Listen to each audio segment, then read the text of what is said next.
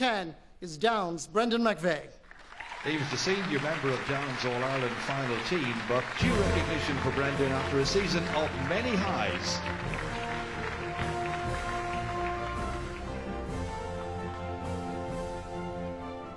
The right corner back from Two Mile House is Peter Kelly of Kildare.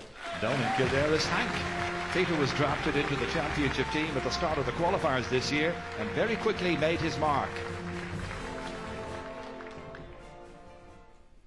The fullback on this season's All Star team is a Cork man, Michael Shields. One of Cork's mainstays in defence again this summer, Michael from the Barrs and UCC showed his class time and again. At left corner back from the St John's Club in Sligo, Charlie Harrison. It's a well deserved honour for Charlie, a full time GAA coach, one of the main driving forces in Sligo's productive season.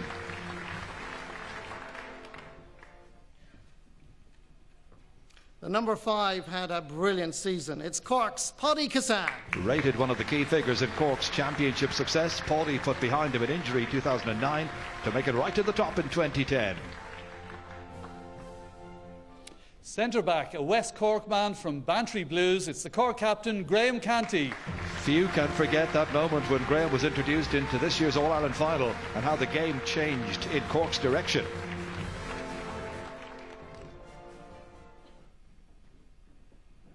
Completing the half back line is a footballer representing the Ulster champions Tyrone. It's Philip Jordan. Yes, there was another Ulster title for Tyrone this summer, and Philip, as ever, was central to so much of their exciting football and has been down through the years. At midfield, wearing number eight, the first All Star ever from Louth, would you welcome Paddy Keenan? Arguably the most popular of tonight's winners, Paddy has led from the front for Louth since his championship introduction in 2003.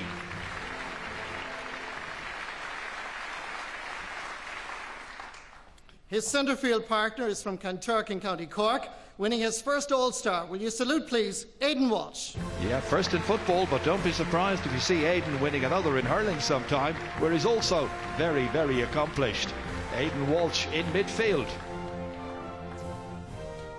Now moving on to the half forward line and gaining selection at number 10 is Downs Danny Hughes. For his work rate and efficiency alone, Danny deserves to be honoured, but this summer he played some truly inspiring football.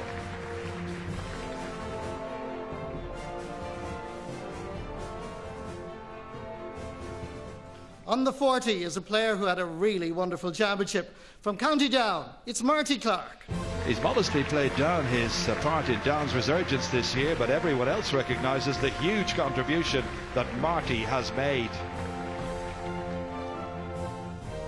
And completing the half forward line is the top scorer in this season's championship.